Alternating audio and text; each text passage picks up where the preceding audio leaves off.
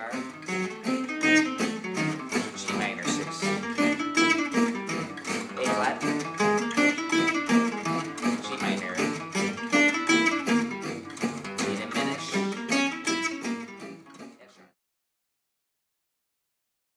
Hey, welcome to Gypsy Jazz Boot Camp. Today's study is on the classic swing Gitan, a great gypsy jazz song uh, made popular by Angelo Debarre.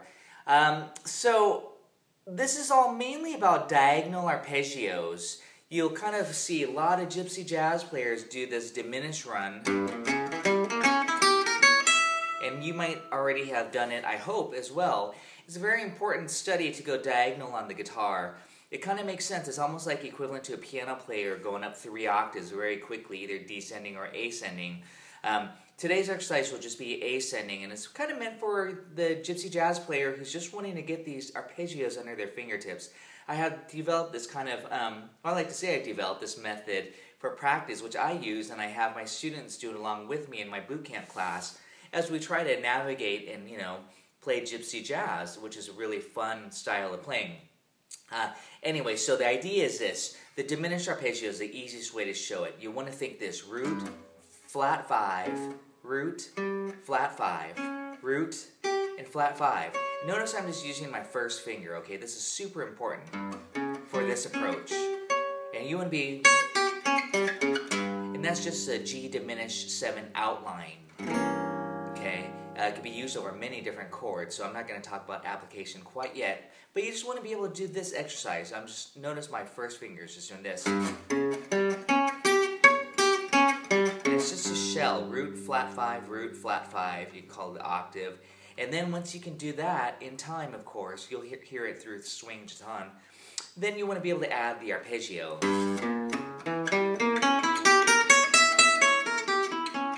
And in this particular exercise, we're not going to go descending. It's kind of interesting. You'll hear a lot of gypsy jazz players just do that lick, that ascending arpeggio, um, but not often descending. So it's qu- kind of an interesting thing. But I think it's important to be able to go both up and down. Um, but for today, we'll just manage it up and da- uh, up, uh, ascending only. But here's the thing: I like to apply this that diagonal arpeggio that's really common on the diminished on a minor six arpeggio. If you might have seen my old videos from five, six years ago now um, for Bossa Dorado, Lulu Swing, but I kind of demonstrated that there. But again, here's G minor six arpeggio. It's the same concept. You have G and D. G, D, G, D. That's your outline, okay? The root, fifth, root, fifth, root, fifth method. Uh, notice I'm using my first finger. Then you want to add in the other notes, the flat three and the six, which is a whole step above. So that's the outline. But you got to do this first. My specific exercise. So here's G minor six. Here's the outline. Here's the arpeggio.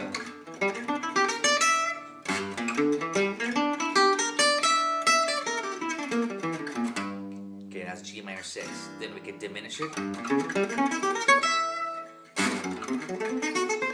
You get the idea. So it's kind of a really fun way to go diagonally uh, through your instrument and get that. Um, I don't want to say it's kind of angular, but it's kind of just you know it gets you from low to high very quickly.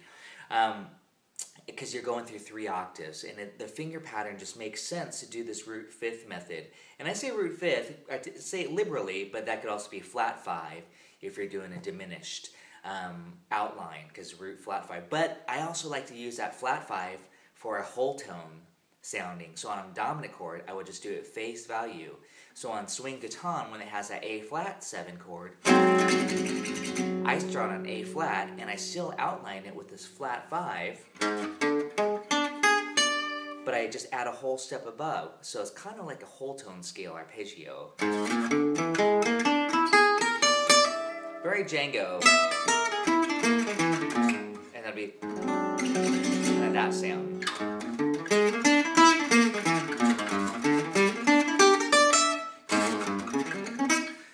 It's pretty fun again to be able to do these arpeggios and to try to navigate it to the song. I've written uh, quite a few of these etudes out over different songs from Bossa Dorado, Minor Swing, Dark Eyes, Um, and this one today is going to be on be on swing Gitan. Um, so I think I just talked about that. For G minor 6, we're going to basically do this. For the A7, and I hope you have the chart in front of you, uh, we're going to do G diminished. So we basically stay on that one chord and we diminish it, and that gonna, is going to give us an A7 flat 9. And then for the D7 chord, the 5 chord, we go down a half step, F sharp dim, and then back to G minor 6. Notice I'm just showing you the shell. For the A flat, 7, and back to G minor. For the A7, and then for the D7, F sharp. So we're pretty much in the span of this one fret. G minor 6 for G minor 6. For the A7, we turn that G minor 6 into G diminished 7. Only one note changes. The 5 goes to the flat 5. And again, these are the type of things that should be practiced. G minor 6, G diminished 7, you flat the 5th. Okay? Now that's, make, try to make sure you understand that. It just helps you so much um, in the big picture. And then the D7, we're playing F sharp dim, and that gives us that D7 flat 9. You know what I'm talking about, this. Okay, you get those flavors. And of course, all this stuff can be applied into the top strings in different styles of improv. It's more of a concept than anything.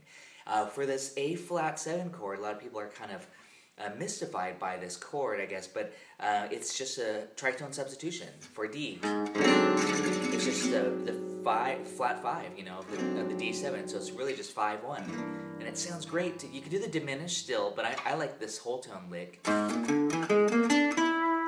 Okay, over that, just to break up the the monotony of the diminished. I don't want to say monotony because it's good just to practice the diminished, but you could just do the diminished on that you would do for D7.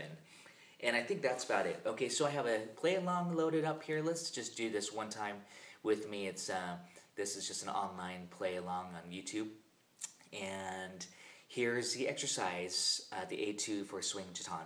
And hopefully you have my PDF in front of you, and let's do it. One, two, Half one, notes. Through fifth method.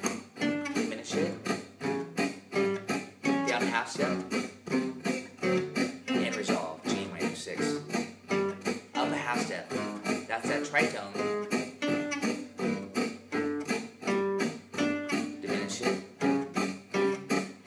Now let's do that again, okay? This is all on the PDF, G minor 6.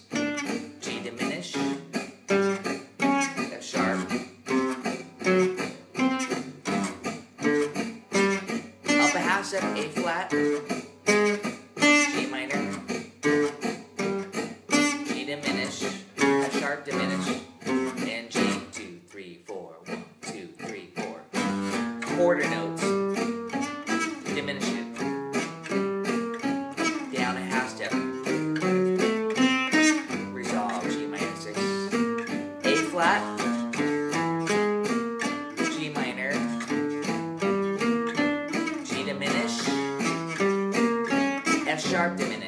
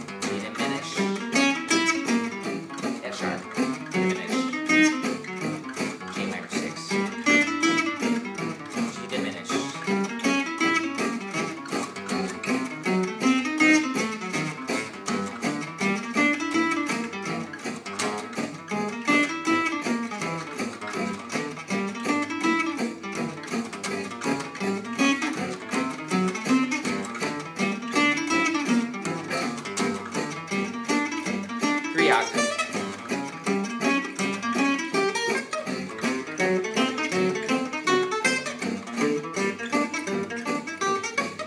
Build up the stamina.